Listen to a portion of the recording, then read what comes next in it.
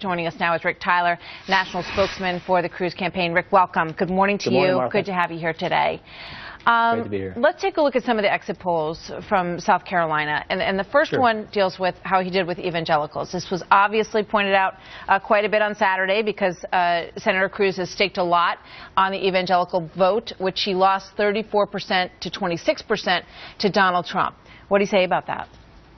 Well, I think we, we could. Uh, Donald Trump has appealed to evangelicals, and he's convinced them that he would defend them, and, and I certainly understand that because evangelicals are often um, uh, ridiculed and mocked uh, in movies and the media, and so I understand that. But I would appeal to the evangelicals to say, if you if you really want someone who's, who has had a proactive record on the life issue, on the marriage issue, uh, on the Planned Parenthood issue, uh, it is Ted Cruz, and uh, we'll continue to we'll continue to communicate that to them.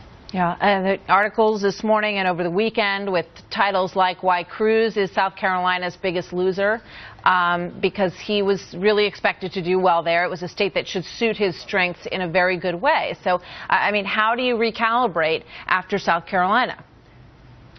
Well, look, South Carolina, the coast of South Carolina down in Charleston is actually a very liberal community. Uh, Marco Rubio won that, or did very well there. He also did very well in the capital city, which is which is quite liberal. So there are these pockets of liberalism in South Carolina. A lot of people have moved into, you know, South Carolina's beautiful state. No, it's why they would move there. But you know, Oklahoma's not really like that, and Tennessee's not like that, and Alabama's not really like that, and and Texas is not like that. And so all those states are going to go March 1st. We spent a time in those states. Uh, while we were being criticized for not being in Iowa, we were in those states, but we won Iowa, and a lot of those states look a lot like Iowa. All right. You are in a strong position, at least in the Real Clear uh, politics average right now, up by 6.7 in Ted Cruz's home state of Texas.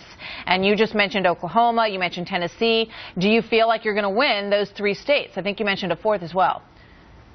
Are you going to win well, part of our strategy is to do well on March 1 because most of the delegates are, that's the biggest single day uh, for delegates, and after that day, 45% of the delegates would have been chosen. So we feel part of our competitive edge is we finished January with more cash on hand than all of our competitors combined. I should point out Donald Trump could continue to write his own checks, but we have that money specifically saved to compete in March 1. We also have tens of thousands of volunteers all throughout the March 1 state. I know that in Georgia we have 10,000. I know in Tennessee we have over 7,000. Oklahoma we have over 7,000. And Texas, uh, Ted Cruz's home state, we have over 27,000. So we've got the organization. We've got a candidate with a message. He is now the only conservative left in the race with a path to victory. So we're feeling pretty good about March 1. All right. So Georgia, Oklahoma, Tennessee, Texas. You know, would you declare right now that you expect to win in Texas? I'm not. No, I'm not going to predict in this race, Martha. I'm not going to predict anything, but uh, we hope to do well there. Absolutely. All right. You know, obviously, over the past 10 days, um, Ted Cruz got hit sort of from both sides with the liar label. Uh, Marco Rubio was laying that on him quite a bit, as was uh, Donald Trump, and it seems to have stuck and hurt him a bit um, in South Carolina. And then you've got this issue this morning, which I know you've already apologized for. We're not going to replay it, um, but where there, there, was a video that Marco Rubio stopped and said to, you know, one of the Ted Cruz supporters, um, you know, all the answers are in there, pointing to a Bible, and somebody had said, no are in there on this video, and you retweeted it or put it out on a Facebook page. Uh, do you have to be more careful about that kind of stuff? Yeah, absolutely. The Daily Pennsylvanian put up that video, and they put the captions of what they said was the transcript on that video.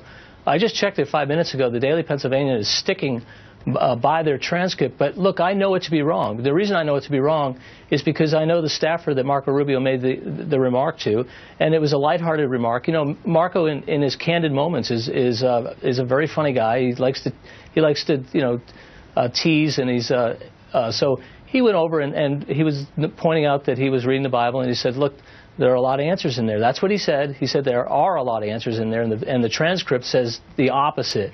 So I know it not to be true. I've asked the Daily Pennsylvania to, to correct it and take it down. Uh, but they haven't done that. So look, I mean, it seems I, on the face of it that that video and the fact that he would say that would be kind of preposterous in the first place, wouldn't it? I mean, what candidate Absol- in South Carolina? yes. So why didn't that sort of hit you as kind of odd and probably not exactly the way Yes. it went down when you when you saw it? You're- I mean, You're absolutely right. It was it was uh, I posted it in haste. I should not have done it. Uh, I've apologized to Marco Rubio. I apologized to the campaign, and uh, I posted that on my Facebook and also shared it on Twitter. And I'm saying it here. It was a mistake, and I would I would not knowingly post something I knew to be false. But you're right, the judgment about what he said uh, was wrong, and uh, so I apologize about that. Well, we got a lot of, you know, there's a lot of heat uh, in these moments for everybody. A lot is at Yeah. stake. Yeah. And uh, Rick, we thank you for, for being with us today Thanks, and covering Martha. all these topics. Appreciate Good it. to see you again. Thanks, Rick.